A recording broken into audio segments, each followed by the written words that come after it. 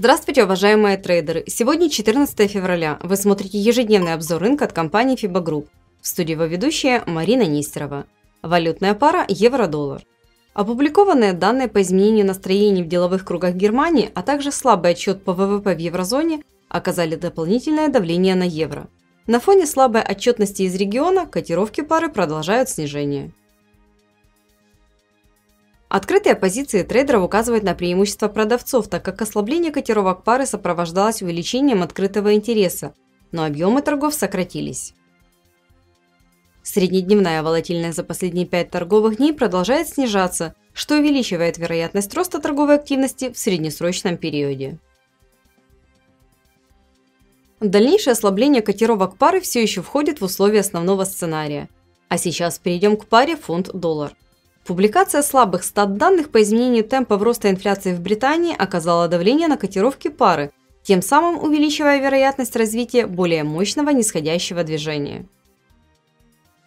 Открытые позиции трейдеров указывают на преимущество покупателей, так как укрепление котировок пары сопровождалось ростом открытого интереса, но при этом объемы торгов сократились. Среднедневная волатильность за последние 5 торговых дней продолжает снижаться, отдаляясь от среднего значения за месяц. Это увеличивает вероятность роста торговой активности в краткосрочном периоде. Дальнейшее ослабление котировок пары к уровню поддержки 1.2420 все еще рассматриваю в качестве основного сценария.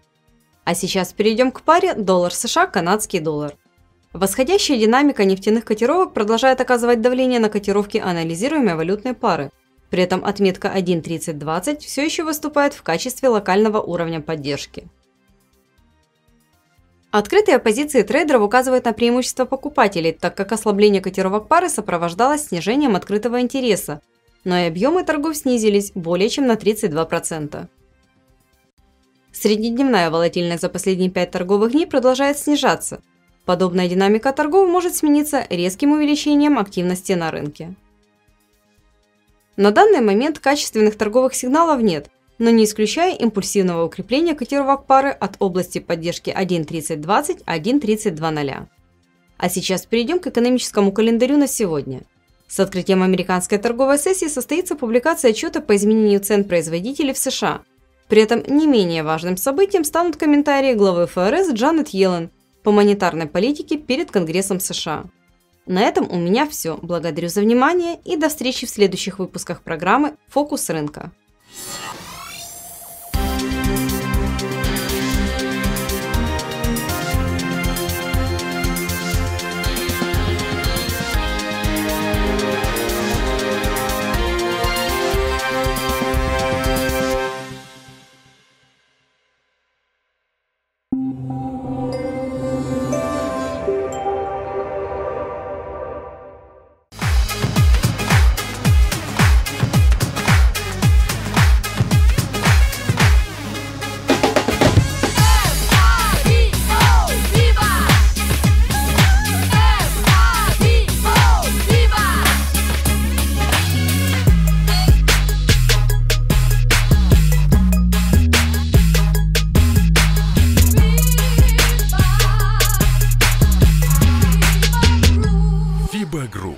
Ваша финансовая группа поддержки.